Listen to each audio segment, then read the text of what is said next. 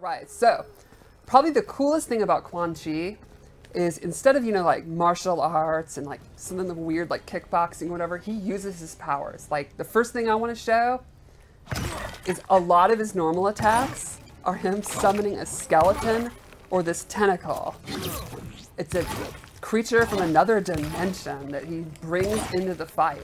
Via these like rifts and portals. Exactly, right.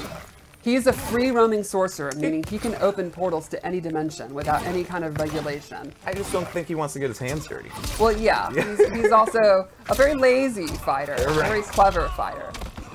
So I figured we'll go over some of his normals. He also, I think one thing notable, he has a lot of overhead and low mix-ups. Oh, good. I love those. Like right here is an overhead big claw from his creature. Even his jabs use the creature, so a lot of range. Mm-hmm. That's awesome. He also has this magical overhead where he can charge it, Oh. pop you up. This big string where it ends with this punch at the end, which I absolutely love. Yeah, I do love the like kind of throwback to him like punching and kicking through portals. Yes. I think it's super. Cool. That was a great thing about MKX, and this is one of my favorites. Just his standing four is this full screen, anywhere on screen poke. That's that's dirty. Oh, that's anywhere. Yeah, it's Yeah. anywhere. And then up close, he has this, and I think this is a really fun mix up. He can go overhead, or he can trick you and go low. And then I think probably my number one favorite thing that I get a kick out of is just his simple block animation. Squeaky green skull. I love it. That's cool. So let's go over his special moves, which are equally crazy. The first I'll show is he has this low tentacle grab. And you can use that mix up like use an overhead, so instead you can go low. And if you EX it, it's a combo starter. Nice. He also has the classic MK4 skull. You have to. You And have if he EXs it, he can make it go slow. Oh. So it's more like R R R R R, or it can make it go fast, and that'll eat up projectiles, literally. Awesome. And he has an air one. Love it. So he's got zoning. So he, he really Yeah. plays into this kind of like mage category. Exactly. He also has this cool bone cage. So he can do close, medium, or far, and it will stun them briefly. But what's really neat is if he EXs it, they're trapped and he can move around, and they Oh. actually can move, but they can't go forward or back. So they could like try to jump out, which you can then anticipate. Right. And they can even do special moves like teleport.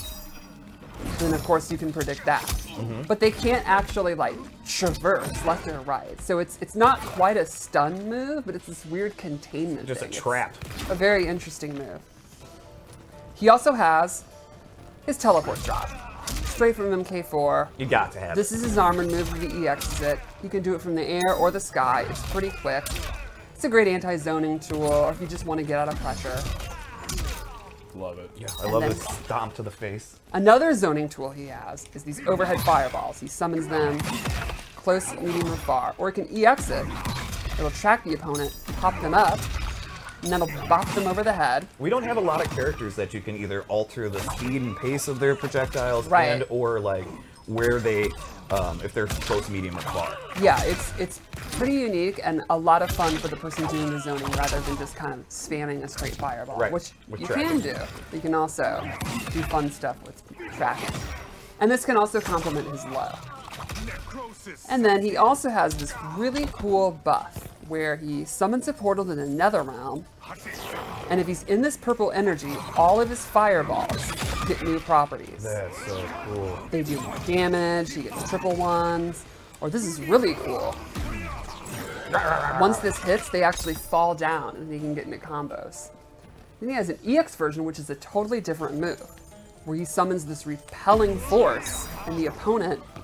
Oh, the opponent, sorry, It's all good. I didn't do the EX one, where the opponent then can't actually advance forward.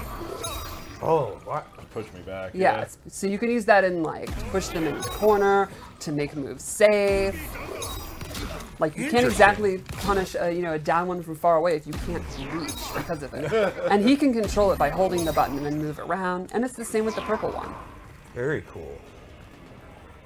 yeah, so overall, I think, oh, we should probably show his throw. I think he's got some really good range, really good mix-ups, really good setups. Like, he's a tricky, kind of thinking character. I think he's going to be someone, if you like creativity, that kind of character, mm-hmm. which I think is really, really cool. He's strong on zoning. Yes. And once you start getting moving, it's just really kind of pretty how all the portals popping and Yes. jumping around. Is really yeah, his cool. VFX, like a lot in this game, are really, really cool. You might have this. That might be my favorite. So let's check out his Fatal Blow.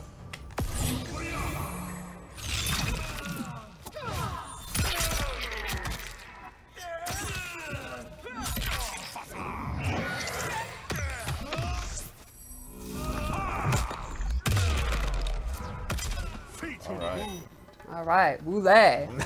Kool indeed. so you guys want to see Khameleon? I, th- I think we do. I think we get time for it. Yeah, yeah, yeah, All yeah, right. yeah.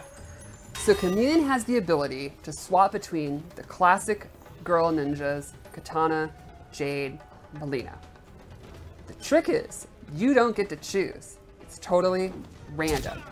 And it's based on either a timer or you deciding when it cycles, but you never get to pick. You'll never get the same ninja twice in a row, but it'll always be one of the three.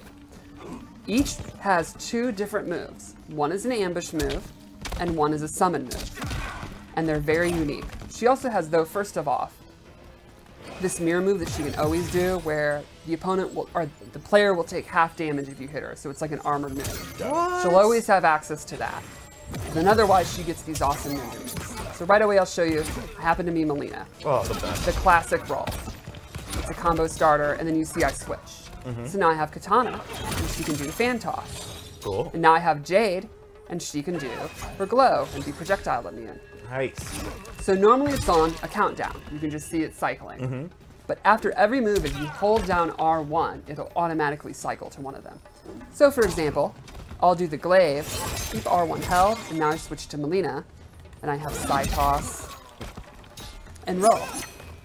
Or then if I want to hold it, now I'm Jade again, so I can do glow, hold it, switch. Ooh, I got Kitana. I got fan lift, where cool. she lifts the player instead of the opponent, So and you can do mobility combos. Exactly, instead of a combo starter. And then the final neat thing is all three have their own individual combo breaker and throw animations. So she has three unique throw animations, That's which is really neat. So I think she has really, really great moves that have many uses, but the trick is keeping track which one you are and choosing do you want to cycle, do you want to stay a little bit longer, how long is the timer going down. So it's kind of like what we did with Tremor, but a different functionality, and mm-hmm. it's very neat. You know, it's going to be a lot of fun to see tournament players and K-League players like all all the different moves, the different combo possibilities are very unique. There's I think it's a really neat way to throw back to how she worked in the Trilogy back in the day. Also, uh, the internet loved her bob. Her hair. It, she looks awesome. Yeah, I love her outfit. It's super cool. Awesome. So That's Khameleon. Khameleon. Yeah. There you go.